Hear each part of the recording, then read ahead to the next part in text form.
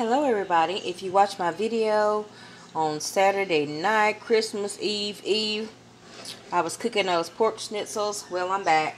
If you're still here, this is what they look like.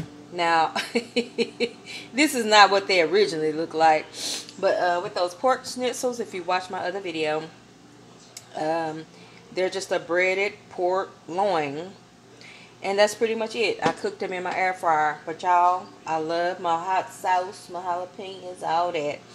So I covered mine in ketchup and uh, lemon juice.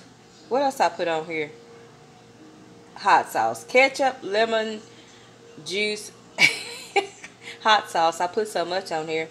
They weren't originally red. If you watch my other video, they're just like look like uh, chicken fried uh, steak. So here's my plate. Like I said, I got everything on mine. And I didn't make the red cabbage, but I did make the green cabbage. And this is how the whole plate turned out. Hope you enjoyed this video. Go in, watch the other video uh, where I cooked the pork schnitzels uh, in my air fryer. Very good value, delicious meal for um, the cost. And God is so good again. Y'all, almost there. we almost there. we celebrating the Lord Jesus Christ's birth.